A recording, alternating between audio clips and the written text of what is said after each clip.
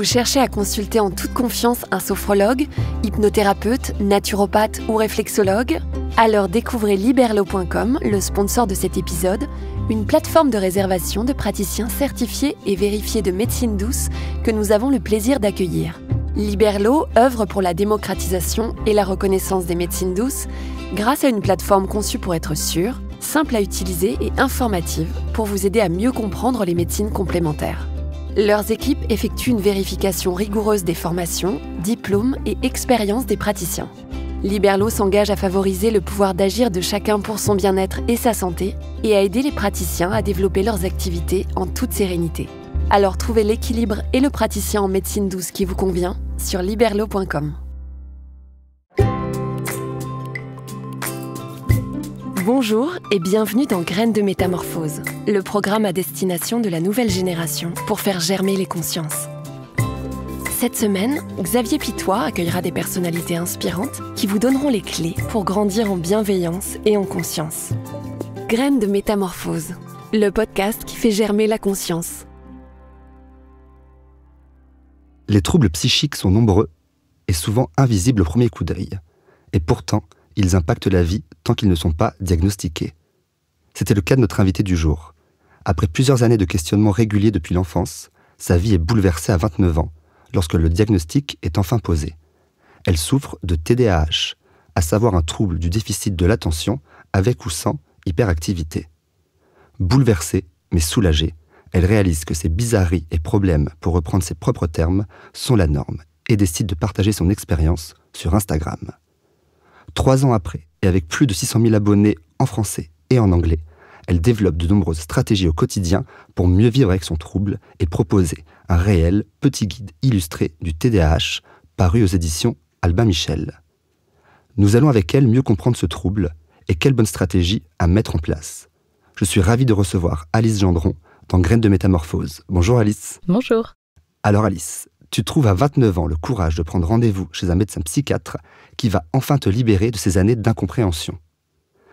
Par quelles émotions es-tu passé quand il t'a diagnostiqué ton TDAH C'est une très bonne question parce que c'est vrai qu'on parle rarement euh, des émotions euh, post-diagnostiques euh, qui sont vraiment super importantes à comprendre, je pense. J'essaye d'en parler beaucoup sur Instagram moi, tout de suite, euh, je me revois euh, passer la porte de, son cabinet, euh, un sourire énorme. voilà, j'étais soulagée, j'étais Vraiment, je me sentais hyper légère d'un coup, quoi. Je, on m'enlevait d'un poids, euh, voilà, tout, tout, tout, ce questionnement. Bon, faut voir que c'était aussi des mois et des mois de, des années même de, de, de, de doute. Est-ce qu'il faut que j'aille faire ce, cette, cette, euh, ce diagnostic? Est-ce qu'il faut que j'aille demander cette évaluation? Euh, À qui est-ce qu'il faut que j'aille voir? Il faut que j'attende après d'avoir le rendez-vous Est-ce que je vais tout rater? Est-ce que, enfin voilà. Donc et puis après, qu'est-ce qu'il va me dire? Le rendez-vous où on nous donne les résultats ben, c'est quand même stressant, quoi. Mm. On attend quand même une réponse qui est très importante pour, euh, pour, pour notre développement, notre identité. Et donc, premièrement, un soulagement énorme qui durera pas très longtemps, en fait. Euh, il durera quelques heures, quelques jours peut-être.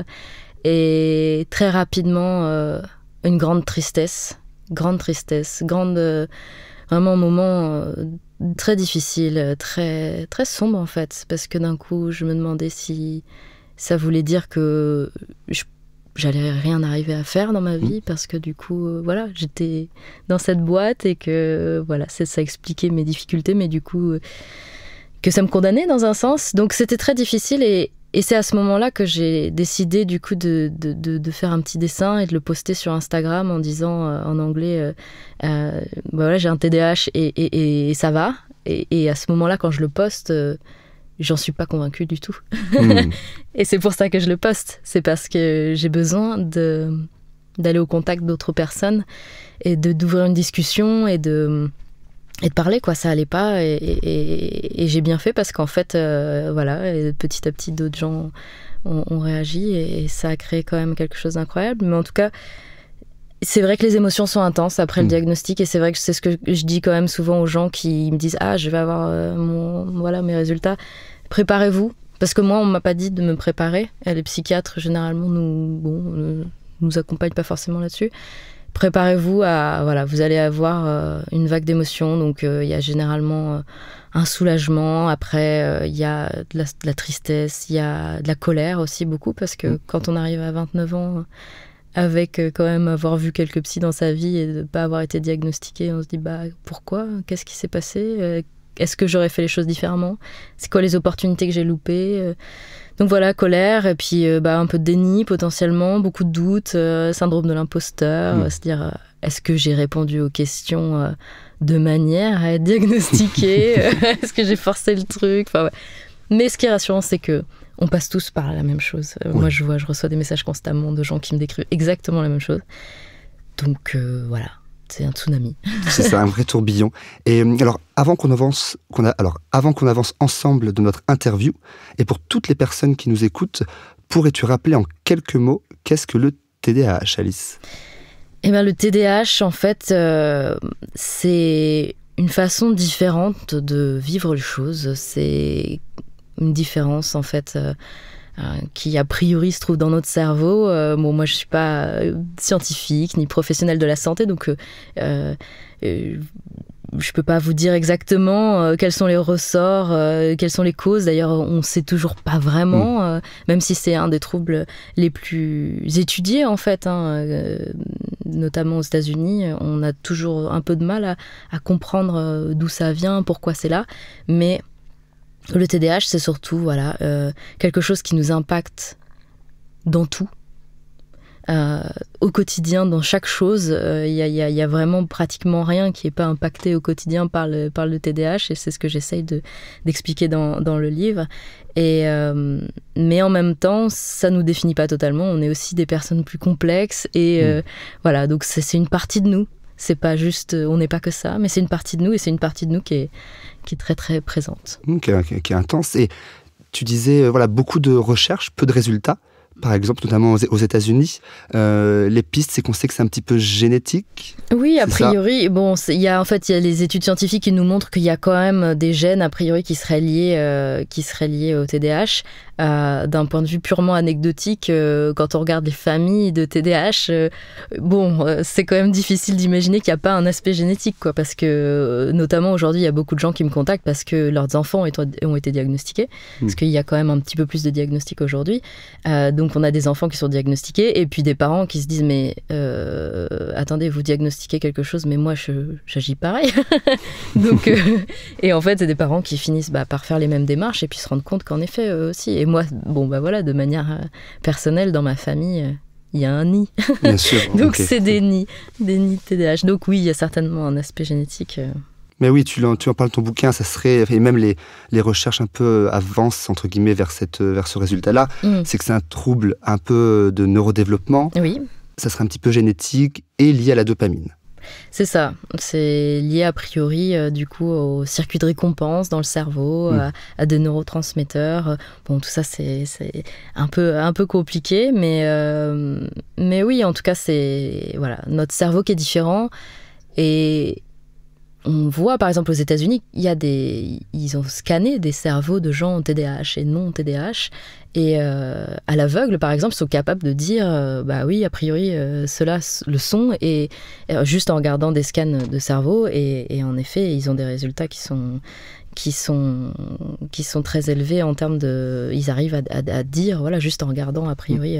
donc c'est quelque chose de réel, de réel, de très scientifique. Euh, voilà, euh, on voit des études aux États-Unis donc qui euh, qui nous, qui nous qui nous montrent ça et et c'est là où c'est intéressant, c'est que c'est une bonne façon quand même de répondre aux gens qui ont tendance à dire bon, c'est juste une excuse pour les gens qui ont des enfants qui courent partout et qui sont mal éduqués, voilà, parce qu'on a encore ce genre de bah de de stéréotypes malheureusement aujourd'hui. Bien sûr, ouais. Et euh, alors j'en profite aussi pour euh, celles et ceux qui nous écoutent et qui voudraient aborder le TDAH d'un point de vue d'un médecin psychiatre. Euh, vous pouvez écouter l'épisode 397 de Métamorphose où Anne Gattière avait accueilli le professeur Nader Perrou. Voilà. Et pour venir avec toi, Alice, dans le cadre d'une interview comme celle-ci, à quoi devons-nous faire attention pour s'assurer qu'en tant que TDA, tu aies une expérience la plus confortable possible? C'est une bonne question. je suis surprise parce que c'est vrai que c'est pas le genre de truc qu'on nous demande. On nous demande rarement de bah, qu'est-ce qu'on peut faire pour, pour, pour que ça soit plus facile pour vous. Mais bah, par exemple, là, on est dans un, dans un studio très bien insonorisé, c'est très agréable. S'il y avait euh, une fenêtre ouverte avec des voitures qui passent et des gens qui discutent, c'est vrai que ce serait quand même beaucoup plus difficile mm. pour moi de me concentrer. J'aurais tendance à capter la conversation qu'il y a à côté et, mon cerveau aurait peut-être un petit peu de mal à se rappeler que c'est pas passionnant d'entendre deux, deux personnes qu'on connaît pas raconter leur vie, euh, il aurait tendance à se dire oh, ça c'est intéressant. donc, euh, donc voilà, c'est ce genre de choses et, euh, et, voilà, principalement, je dirais là, dans un cadre d'interview, de limiter les sources de distraction, hmm. ça aide, c'est sûr. Ok, très clair. Et alors, par rapport au TDAH, pour donner deux chiffres, on estime en France entre 400 000 et 1 million le nombre de jeunes atteints de TDAH, mais 80% ne seraient pas diagnostiqués. La psychologue Caroline Goldman dit qu'on a tendance à surdiagnostiquer le TDAH. Comment démêler le vrai du faux? Ah, c'est une bonne question. C'est très difficile. Je pense que c'est. On est à un moment où, on commence à, essayer de comprendre un peu mieux quand même les troubles, les troubles psychologiques et on commence à en parler beaucoup. Et donc voilà, ça crée un peu des, des mouvements où il y en a qui disent c'est trop diagnostiqué, il y en a qui mm. disent ça l'est pas assez. Euh, globalement, euh, on a quand même des chiffres euh, qui nous disent que c'est plutôt sous-diagnostiqué, notamment dans certaines populations, notamment chez, mm. les, chez les femmes, chez les filles. donc voilà, il faut juste moi, je suis pas quelqu'un qui est très, euh, comment dire, je, m'intéresse euh, rapidement aux chiffres, mais ce que j'aime, c'est surtout l'expérience individuelle. Bien sûr. Et c'est ça qui me parle. Et, et donc, là où je pense qu'il peut y avoir des problèmes, c'est d'avoir un problème de diagnostic qui n'est pas le bon à un niveau individuel. Et ça, c'est quelque chose qui arrive très souvent. en France, j'ai l'impression que c'est quand même assez rare de se faire diagnostiquer TDAH alors qu'on l'est pas.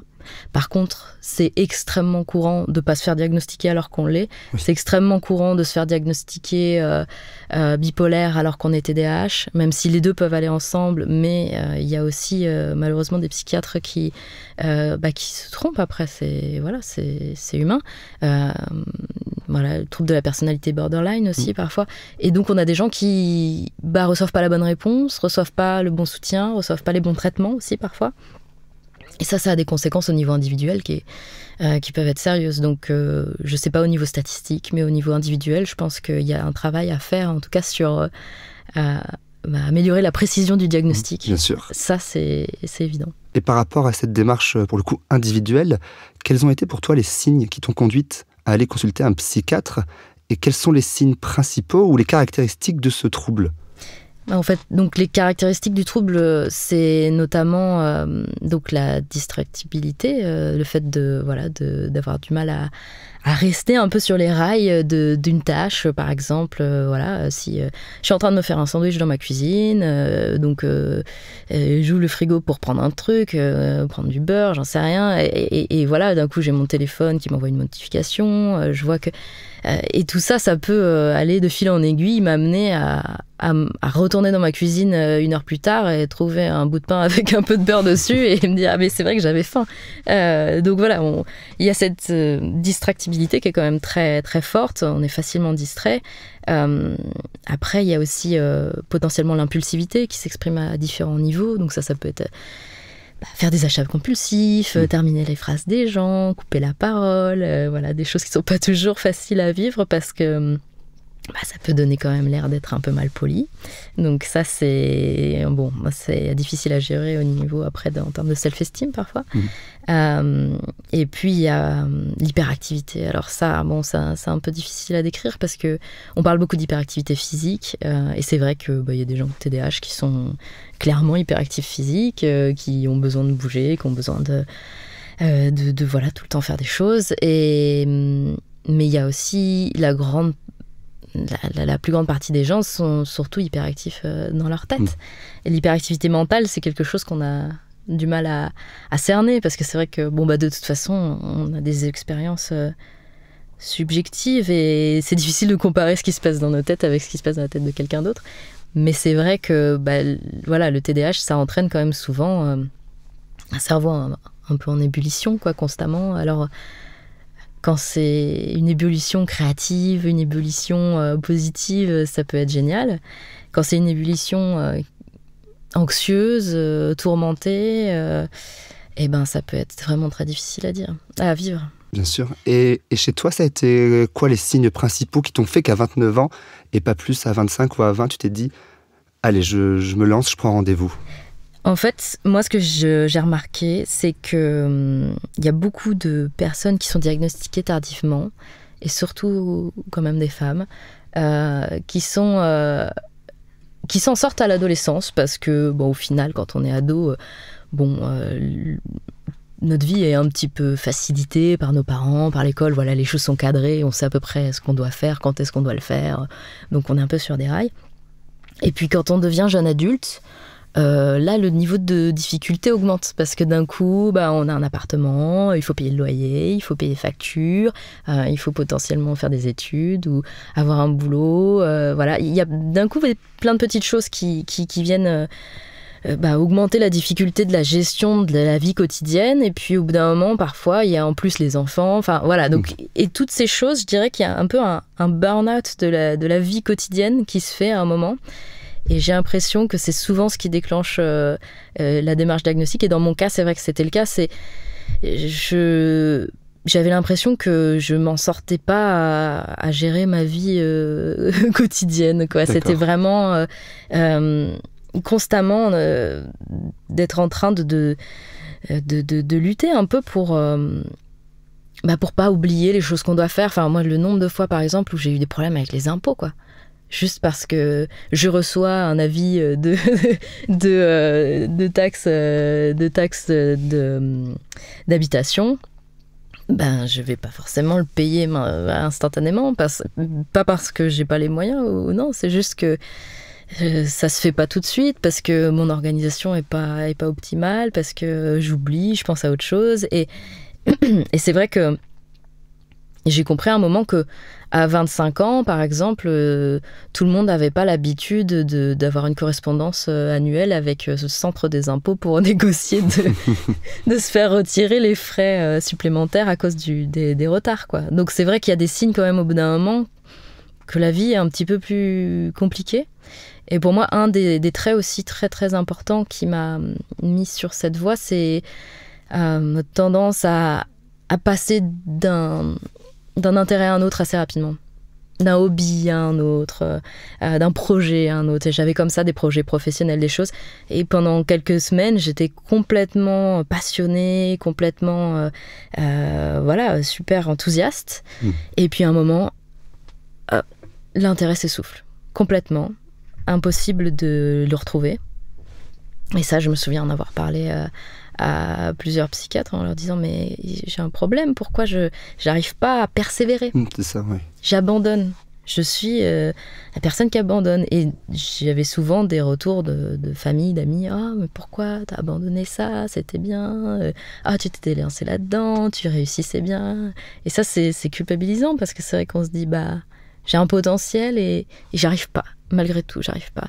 Et, ça, c'est une des choses, vraiment, quand j'ai compris, en faisant mes propres recherches en ligne, que c'était un trait qui était lié au TDAH, je me suis dit, ok, là, euh, bon, faut peut-être quand même que je fasse quelque chose et que j'aille comprendre si c'est ça.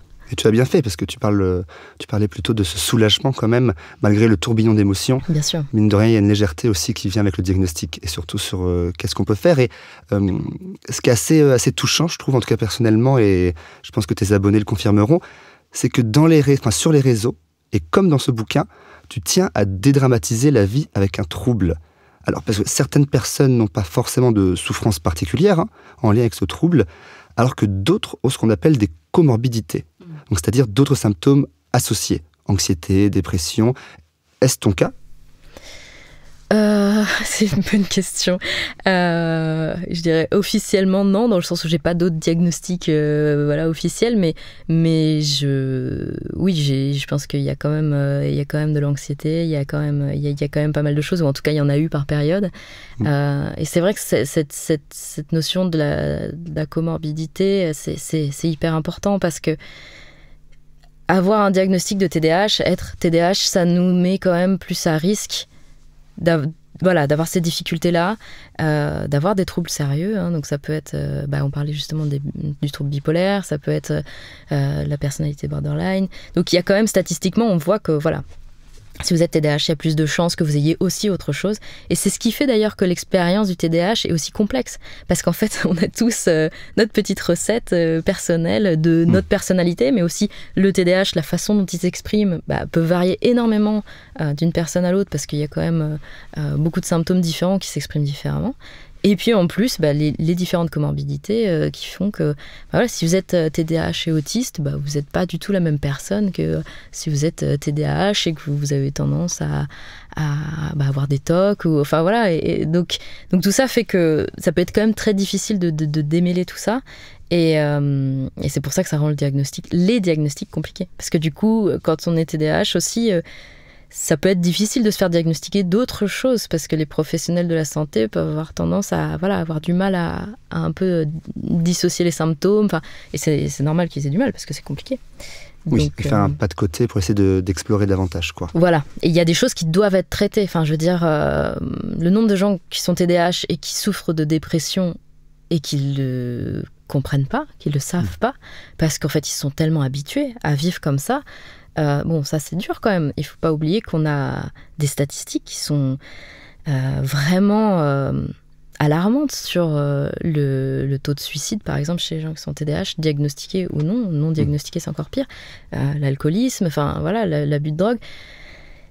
Moi j'essaye de dédramatiser, mais en même temps j'essaye aussi d'attirer l'attention sur la souffrance réelle qu'il y a derrière tout ça et à quel point il faut quand même qu'on voilà, qu'on se penche sur toutes ces questions, parce que c'est quand même une histoire de vie ou de mort pour certaines personnes. Bien sûr, cet aspect des addictions, tu, en parles euh, dans ton ouvrage effectivement, et euh, pour euh, essayer d'aborder l'autre facette, quelles sont les forces aussi qui viennent avec le TDAH Un peu ces super pouvoirs que ça procure?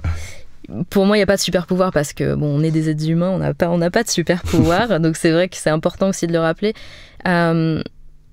Je pense que c'est une question délicate parce que c'est vrai qu'il y a beaucoup de gens euh, qui sont TDAH qui ont une tendance à être créatifs. Euh, on en retrouve euh, d'ailleurs beaucoup dans les, dans, les, dans les métiers. Il y a une surreprésentation du TDAH dans les métiers créatifs, dans les métiers voilà, où il faut être réagir rapidement. Euh, par exemple, les urgentistes, je crois qu'il y a énormément de TDAH euh, chez les urgentistes parce que voilà, il y, a une, stimulation par le stress qui fait qu'ils sont particulièrement euh, bons à, être comme ça, sur le qui-vive, et, et, ça fait des, gens qui ont, qui ont, des qui ont des capacités un peu bah, incroyables et qui mettent au service des gens. Donc c'est exceptionnel. Après, moi je fais très attention à pas associé, parce que bon, scientifiquement, les preuves qui est vraiment des traits positifs associés au TDAH euh, sont faibles, voire inexistantes.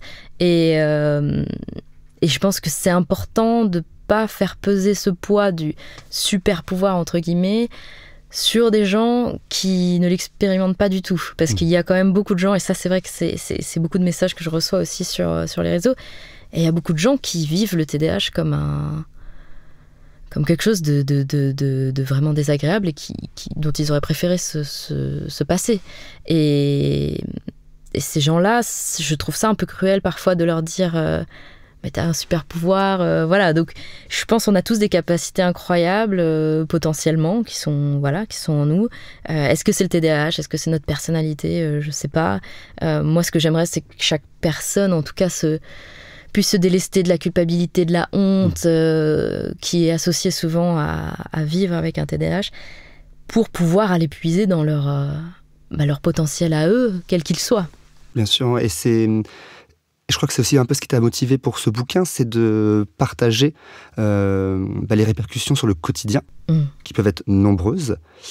et tu les listes en associant à chaque fois un moyen pour t'aider à mieux vivre avec.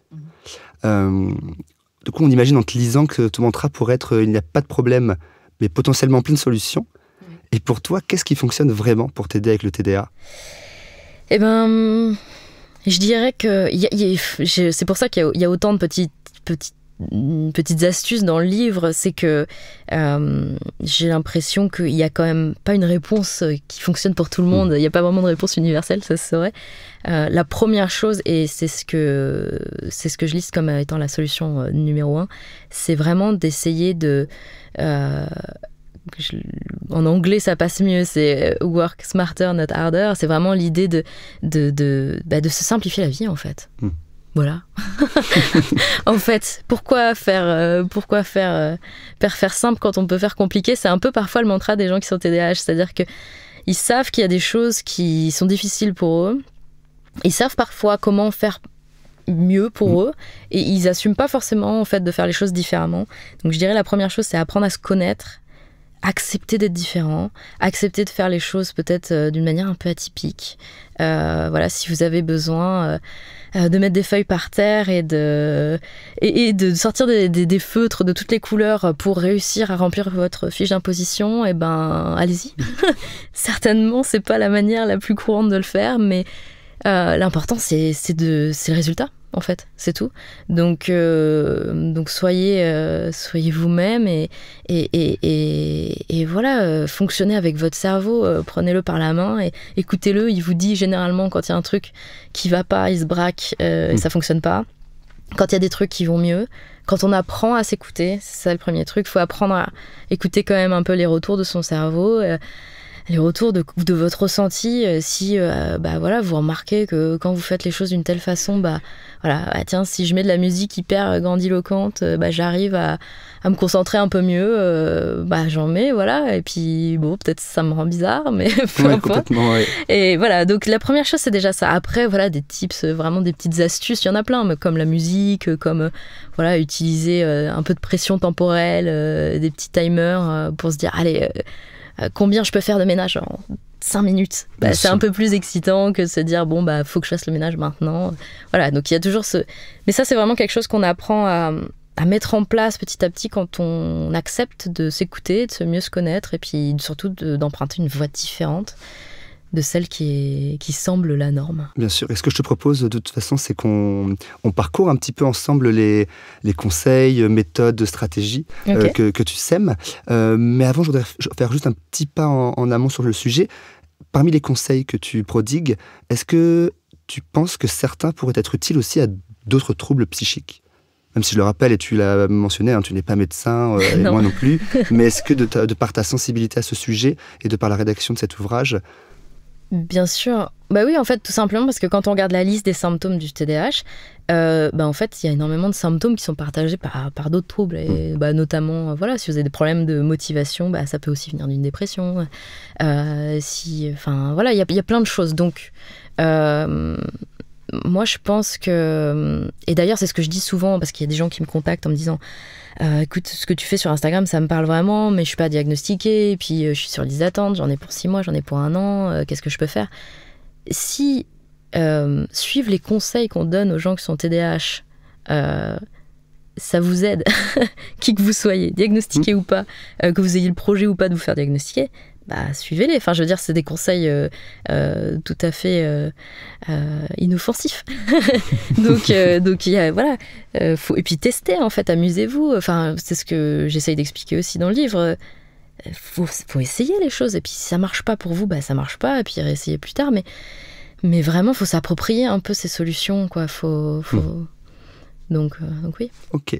Alors si tu es d'accord, je voudrais qu'on les, qu'on les aborde un petit peu ces solutions, euh, puisque tu partages plusieurs outils, plusieurs pistes à explorer. Voilà, que ce soit pour le TDAH ou potentiellement d'autres, d'autres troubles, surtout si ça facilite la vie.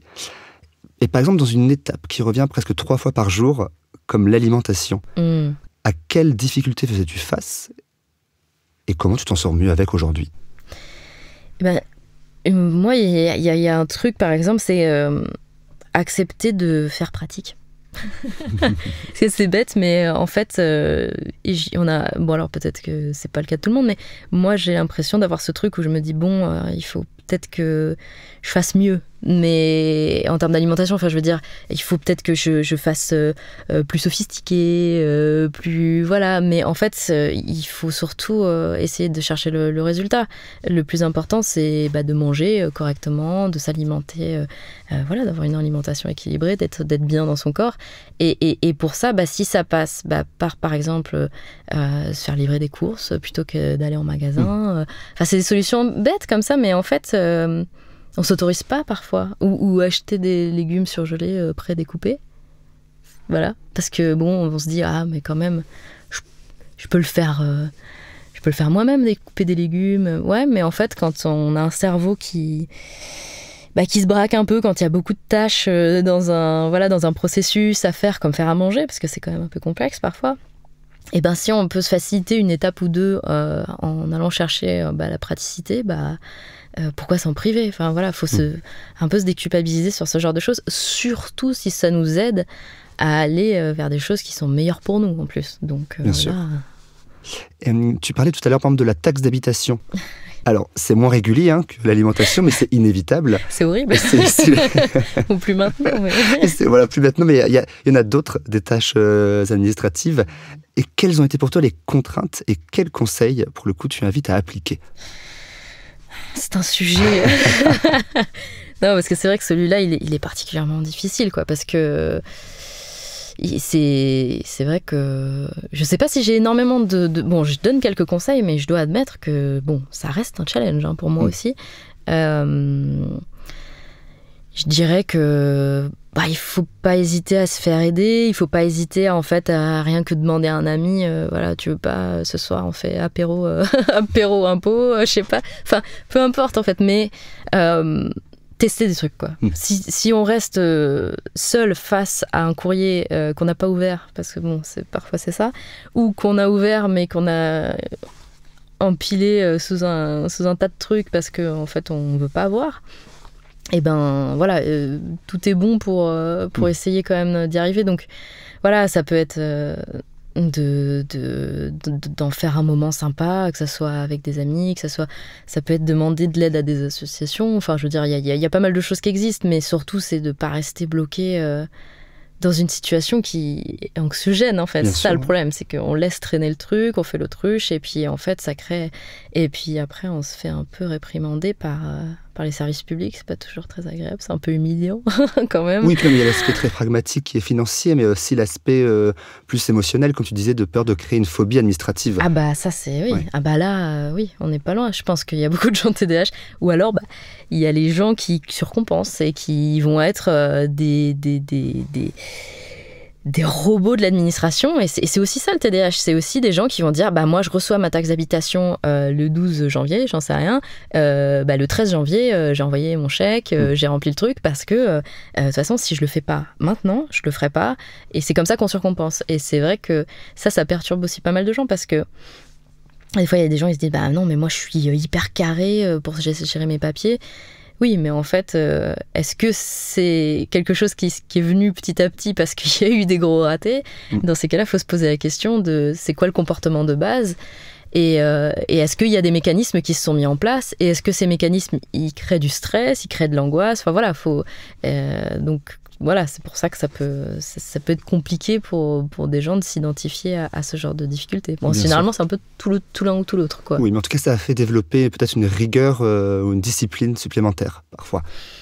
Ça peut être une solution. Tant qu'elle est vécue, en fait, de manière euh, sereine, Bon, voilà, et si, si la réponse c'est la rigueur et que, et que ça se passe bien, voilà, tant que ça crée pas une angoisse, un truc pas possible à vivre, bon, ben voilà, le but c'est aussi d'arriver à gérer ces, ces histoires administratives. Clairement. Tu, je rebondis sur le, les métiers. Tu parlais tout à l'heure des urgentistes et aussi de celles et ceux qui évoluent dans le milieu artistique, en tout cas créatif. Mhm. Et par rapport à ce monde du travail et de par tes conversations avec une grande communauté de personnes ayant un TDAH, y a-t-il de son observation des corps de métier ou des secteurs plus propices à leur épanouissement? Bah oui, euh, je pense clairement, euh, clairement, euh, bah par exemple tous les métiers qui vont être euh, pas trop ennuyeux en fait déjà. un métier, voilà, c'est un reporter de guerre, un, voilà, un photographe animalier, mm. quelqu'un qui travaille dans un zoo, enfin voilà, des métiers où il y a une stimulation a priori, ça va matcher un peu plus que quelqu'un, euh, un notaire qui va rester dans son bureau euh, toute la journée. Ou, euh, bon, il y a des exceptions, évidemment. C'est pas à prendre au pied de la lettre, mais c'est vrai que on est sur des, des, des, des gens qui ont quand même envie d'être un peu dans l'action, quand même de manière générale, que ça bouge, euh, voilà, qu'il y a des choses euh, euh, qui se passent, quoi, qu'on s'ennuie pas hmm. trop. Bon, c'est lié aussi à cette histoire de dopamine, à cette histoire de d'aller chercher de la nouveauté. par exemple, si vous avez un, un, travail où, où, vous travaillez pendant dix ans sur le même projet, euh, parce que euh, c'est des gros projets euh, qu'il faut boucler, comme ça, très lourds, très administratifs, je sais pas, des trucs d'architecture hyper lourds ou, ou, voilà, ou de finance, j'en sais rien, bah, ça risque d'être un peu moins stimulant que quelqu'un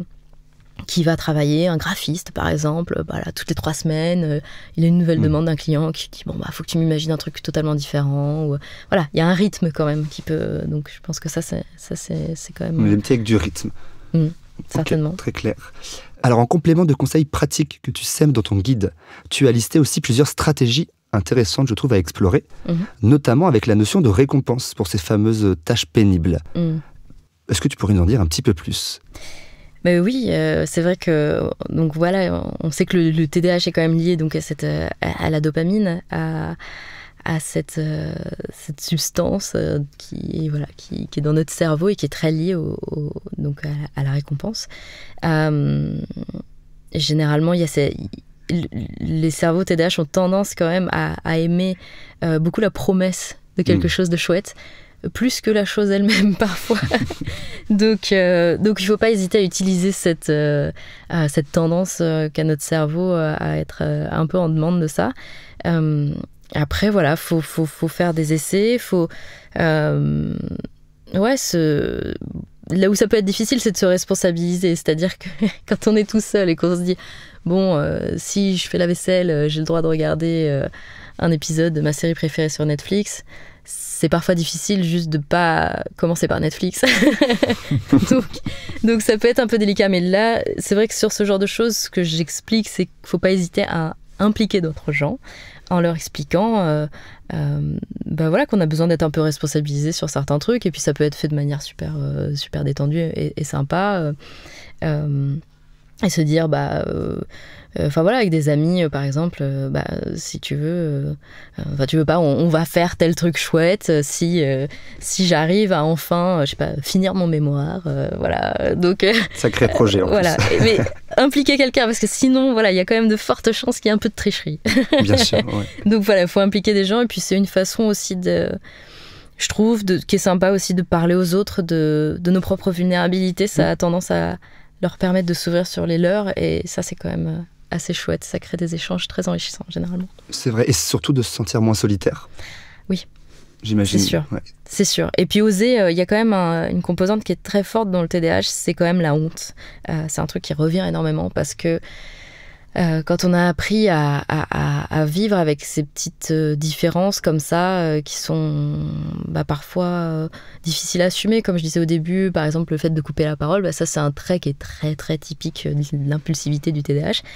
Euh, mais en même temps, bah, c'est vrai que quand on nous fait remarquer, oui, bah, tu m'as coupé la parole, bah, tout de suite, bah, on se sent un peu honteux quand même. Et, bon, c'est comme ça. Mais c'est vrai qu'il y a beaucoup de, de retours qu'on a euh, qui sont qui créent quand même ce sentiment de honte en nous et c'est un truc que, quand même que dans la communauté beaucoup de gens expriment et, et, ça il faut vraiment euh, réussir à s'en détacher quoi enfin il faut vraiment réussir à, trouver des solutions pour pour la transformer, cette honte, pour, pour, pour la dépasser, pour, euh, pour en faire autre chose, quoi. Parce que mm. c'est en termes d'estime, et c'est quand même, l'estime, c'est quand même un gros problème, euh, la faible estime de soi, c'est quand même quelque chose qu'on retrouve beaucoup hein, chez les populations TDAH. Euh, voilà, il, faut se reconstruire, et, surtout quand on a un diagnostic tardif particulièrement. Et donc, s'ouvrir aux autres, dire par exemple, un exemple tout bête on, a, on peut avoir tendance à oublier de répondre, par exemple, aux messages qu'on reçoit. on reçoit un texto, euh, on le lit, euh, on pense à autre chose, on se fait distraire. Bon, puis on voit parfois le lendemain qu'on a oublié de répondre et on peut re-oublier. Et, ou alors on peut commencer à se dire, mince, la personne, elle va se dire que euh, bah, que je l'ignore volontairement. Euh, enfin, et en fait, ça peut créer un truc où, en fait, pendant des semaines, parfois, on va juste pas répondre à un message. Et moi, ce que je dis dans le livre, c'est dans ces cas-là. Euh, ça peut être bien d'envoyer un message assez rapidement en disant bon bah là euh, je peux pas te répondre tout de suite pour parce que je suis concentrée sur autre chose ou voilà j'ai pas j'ai pas le temps ou mais dire à la personne voilà j'ai tendance à être un peu distraite mais voilà euh, je vais te répondre plus tard ou n'hésite pas à, me rappeler de te répondre. Enfin voilà mais ça peut être juste de dire les choses ouvertement parce qu'en fait si on le fait pas ça crée des quiproquos euh, encore plus de honte. Enfin voilà donc cette vulnérabilité euh, et moi c'est ce, ce que j'ai essayé de vivre aussi en tout simplement en partageant même mon expérience sur, sur Instagram. Et ça m'a apporté beaucoup en fait parce que on se rend compte que bah, y a plein de gens en fait qui, qui, qui se sentent proches de ce qu'on vit. Et du coup, euh, bah on, oui, on se sent moins seul. Bien sûr. Et c'est énorme en fait. Parce que euh, si vous dites à quelqu'un, bah, je suis désolé, j'ai tendance à oublier de répondre aux messages, plutôt que de dire, ah bah euh, voilà, X excuse bidon, et ben peut-être la personne elle va dire, ah bah moi aussi, en fait, c'est vrai que des fois j'ai du mal, et puis bah en fait voilà, tout va bien, tout va mieux. Et dans cette euh, bah, démarche de transparence, mm. est-ce que, de par ton expérience, tu as eu des mauvais retours ou au contraire plutôt euh, des bonnes réactions? Bah, Plutôt des bonnes réactions en général, j'ai l'impression. Après, c'est peut-être aussi euh, la façon dont on le fait. peut-être que moi j'ai appris aussi à utiliser les bons mots, voilà, parce que bah, j'en parle beaucoup, donc forcément voilà, j'essaye de, dédramatiser, d'utiliser hmm. des mots voilà, qui expriment un peu les difficultés pour qu'on peut ressentir euh, sans que les gens se sentent euh, euh, forcément voilà, un peu délaissés. Ou... Donc voilà, il faut réussir à trouver les bons mots. Après, bah, il peut y avoir aussi des réactions négatives, évidemment. Après, bon, bah, ça, ça fait un peu partie de la vie. Et Bon, bah, je, pense que ça, c'est. De toute façon, des réactions négatives, on en a quand on, hmm. est un TDAH. Euh, c'est un peu inévitable. Et alors, parmi les autres stratégies que tu euh, partages, il y a même une technique de gestion du temps, alors, mhm. qui a été développée par Francesco Cirio à la fin des années 80 et qui semble plutôt bien fonctionner pour toi et peut-être d'autres troubles. Est-ce que tu serais d'accord pour nous la présenter? C'est la méthode Pomodoro, c'est ça? Ouais. j'avais pas tout le, j'avais pas lu tout le Wikipédia.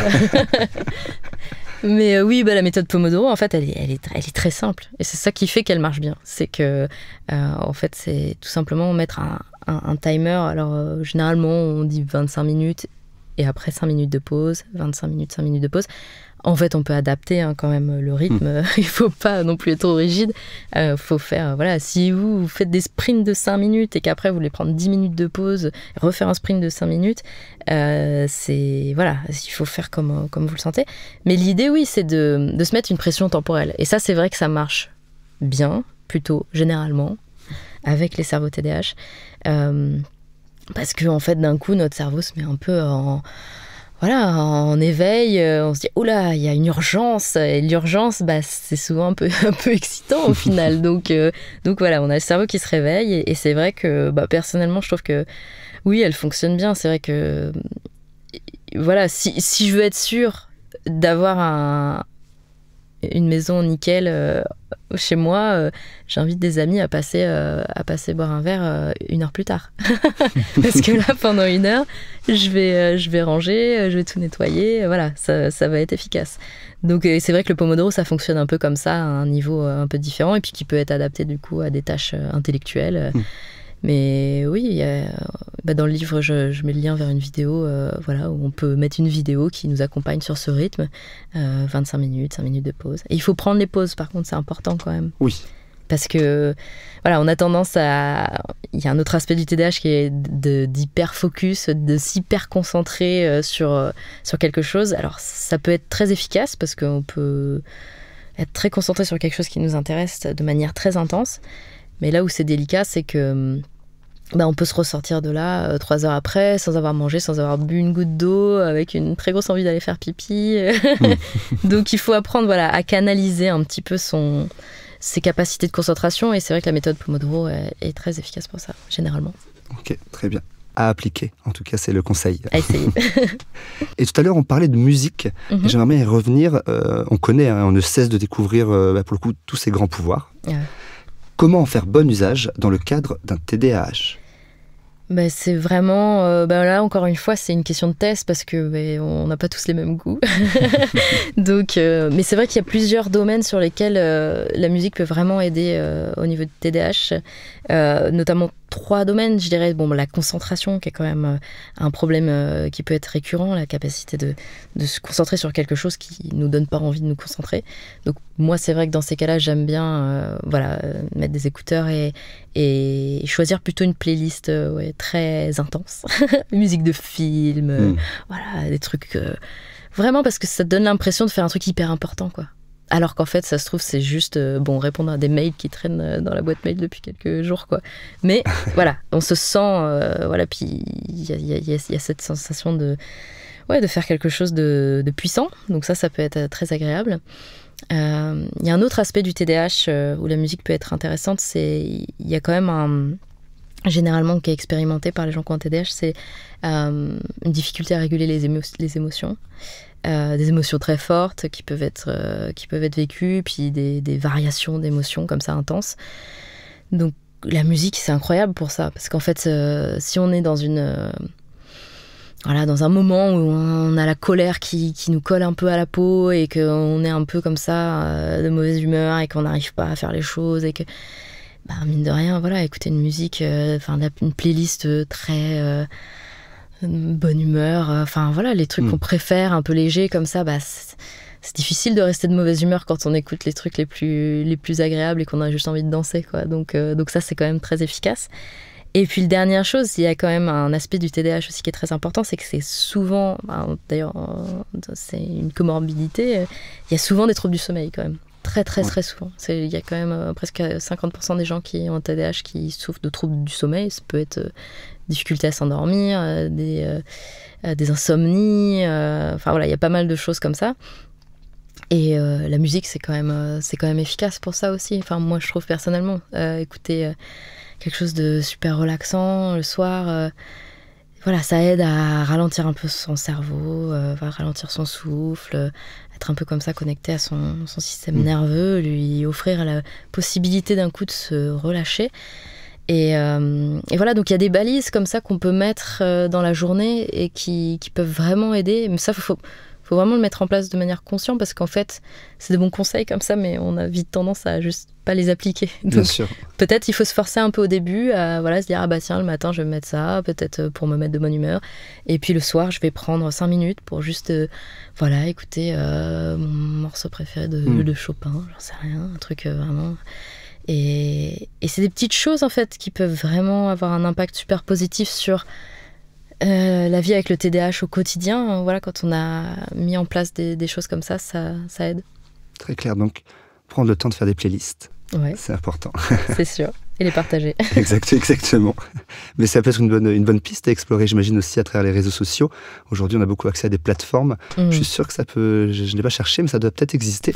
Ouais, il y a, y a, de la musique, euh, bien sûr. Il y a, y a, des vidéos, des, des, des, mm. des playlists de, musique particulièrement qui aident à, à se concentrer. C'est vrai qu'on sait qu'il y a un certain nombre de, de battements par minute euh, qui peuvent voilà, nous mettre dans une zone un peu particulière. Et c'est vrai que euh, je ne sais pas si on a des études vraiment là-dessus, mais en tout cas, d'un point de vue anecdotique, euh, on sait que dans la communauté, on est TDAH, on est quand même souvent très sensible à la musique, quoi. Donc, faut pas hésiter à l'utiliser. Mm. C'est gratuit, c'est génial, euh, voilà. Donc.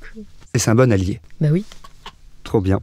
alors, on approche de la fin du podcast, Alice, et j'aurais une dernière question. On sait que certains médicaments peuvent aider, car certaines personnes sont en réelle souffrance hein, mhm. avec leur TDA, on en parlait. Quelle est ta vision personnelle dessus? Et euh, je le rappelle, évidemment, tu n'es pas médecin. Et je pense notamment au traitement la ritaline. Oui. Voilà.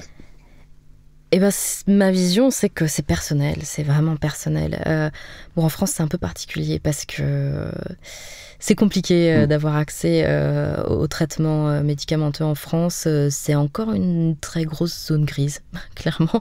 C'est voilà, il y a, y a, des gens qui ont accès facilement parce qu'ils ont des, des, des des spécialistes euh, voilà, qui, qui, qui, savent exactement quoi prescrire et dans quel cadre, et puis d'autres euh, qui vont pas pouvoir avoir accès parce que, voilà, enfin bref, c'est très compliqué. Encore une fois, je suis pas médecin, donc je suis pas la mieux placée pour en parler. Mais en tout cas, euh, ce que je peux dire, c'est qu'il y a des gens qui en ressentent le besoin, euh, qui en ressentent les bénéfices euh, de manière euh, très importante. donc dans ces cas-là, bah, je pense que voilà, c'est il faut pas hésiter. encore une fois, c'est une question de peser un peu pour et le contre, parce mm. qu'évidemment, c'est des médicaments qui ont des, qui ont des contre-indications, qui ont des effets secondaires, notamment sur le sommeil et sur l'appétit. Donc il faut prendre une décision en conscience, il faut essayer en fait aussi parfois. moi je connais beaucoup de gens qui ont essayé pendant six mois, ça leur a apporté quelque chose. Et puis au bout d'un moment, ils se sont dit bon, bah, maintenant que je vois ce que c'est, euh, je vois dans quel état ça me met, euh, bon, bah, je pense que je comprends mieux, mais je, peux arrêter. Euh, voilà, il y a des gens qui, qui utilisent la caféine de la même manière parce qu'au final, on sait que la caféine a quand même des effets parfois positifs pour ce genre de choses. Donc je dirais c'est vraiment à chacun de prendre sa décision personnellement, vraiment en faisant ses propres expériences et puis et puis c'est à tous les autres de bah, d'accepter euh, les choix personnels de chacun, parce qu'au final, euh, on n'est pas dans la tête des autres. Et bah, si quelqu'un en ressent le besoin, bah voilà, qui, qui, qui on est pour juger. Je pense qu'il y a beaucoup de jugements. Faut, voilà, faut dédramatiser un peu tout ça et, et laisser les gens faire leur choix. Très clair. Merci infiniment, Alice, d'être venue dans Graines de Métamorphose pour nous partager toute ton expérience et cette incroyable boîte à outils du quotidien qui, j'espère, euh, sincèrement inspirera beaucoup des personnes qui nous écoutent. Merci. Et j'en profite pour rappeler que ton livre, Le petit guide illustré du TDAH, est disponible aux éditions Albin Michel. Et on peut te retrouver évidemment sur ton compte Instagram français, la mini coach TDAH et The Mini ADHD Coach pour les anglophones. Merci beaucoup Alice. Merci. Merci d'avoir écouté cet épisode. S'il vous a plu, n'hésitez pas à aller vous abonner directement au podcast sur votre plateforme d'écoute préférée. Il vous suffit de taper Graines de Métamorphose dans la barre de recherche pour le retrouver. Vous pouvez aussi nous suivre et découvrir les actualités du podcast sur notre Instagram, Graines de Métamorphose. On se retrouve la semaine prochaine, même jour, même heure. Et en attendant, c'est Anne et ses invités qui vont vous nourrir avec de nouveaux épisodes de Métamorphose, le podcast qui éveille la conscience. Graines de métamorphose, le podcast qui fait germer la conscience.